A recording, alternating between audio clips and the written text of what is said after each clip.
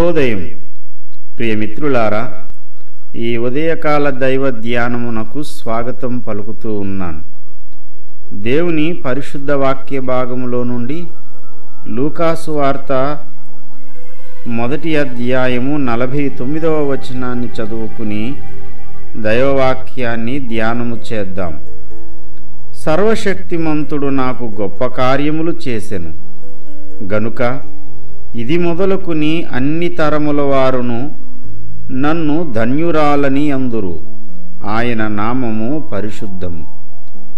దేవుడి పరిశుద్ధ వాక్య భాగమును మన వినికిడిలో ఆశీర్వదించునుగాక. ఆమెన్. ప్రియమిత్రులారా డిసెంబర్ మాసం ప్రారంభమైంది అనగానే క్రిస్మస్ కోలాహలం ప్రారంభమయ్యింది ఈ నెలంతా కూడా క్రిస్మస్ ఆరాధనలు చేస్తూనే ఉంటారు. కానీ నిజ క్రైస్తవుడికి ప్రతిరోజు క్రిస్మసే ప్రతిరోజు ఆనందమే. మరి ప్రత్యేకంగా ఈ నెల నెలంతా యేసునాథుడు ఈ భూమి మీద జన్మించారు అని సర్వలోకానికి చాటి చెప్పే అవకాశము దేవుడు మనకి ఇచ్చాడు ఈ తరుణంలో మనం కూడా ఈ క్రిస్మస్ పాఠాలను కొన్నిటిని ధ్యానం చేద్దాం. యేసునాథుణ్ణి గర్భాన్న మోసినటువంటి తల్లి అయిన మరియా తరములన్నిట నన్ను ధన్యురాలు అందురు అంటూ ఉంది. అన్ని తరములలోని వారు మరియను ధన్యురాలు అన్నారు. ఆర్సీఎం వారు ఒక అడుగు ముందుకు వేసి ఆమెను దేవత అన్నారు. మరియా దేవత కాదు ధన్యురాలు. ఎందుకు ఆమె ధన్యురాలు?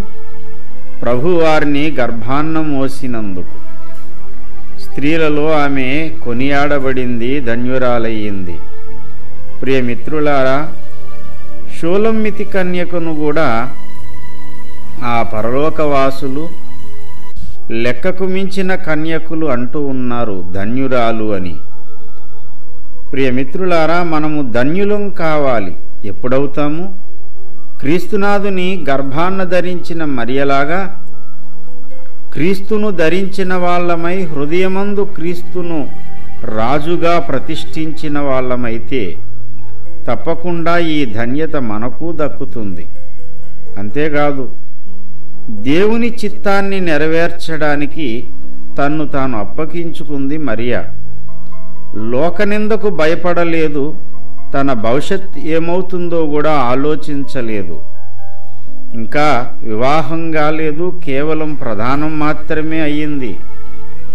గర్భవతి అవుతావని దేవదూత గారు చెప్పినటువంటి సందేశానికి తన సందేహాలు వ్యక్తపరిచింది దేవుని యొద్ద నుండి జవాబు పొందింది.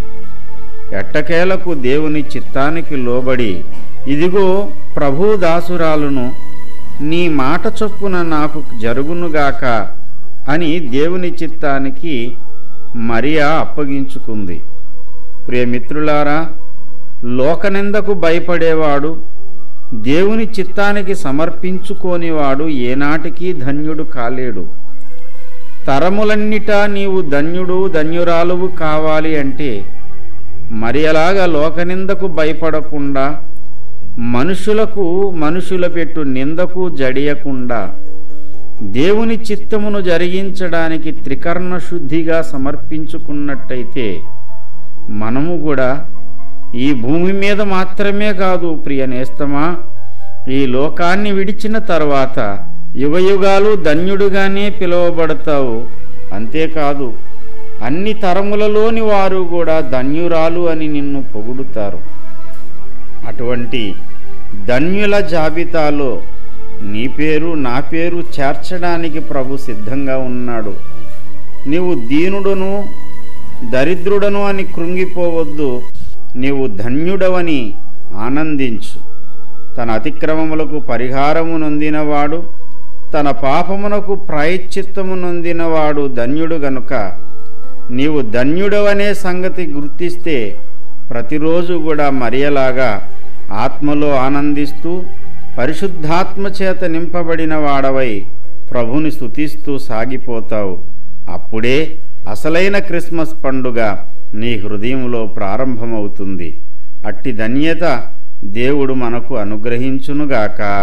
ఆమెన్.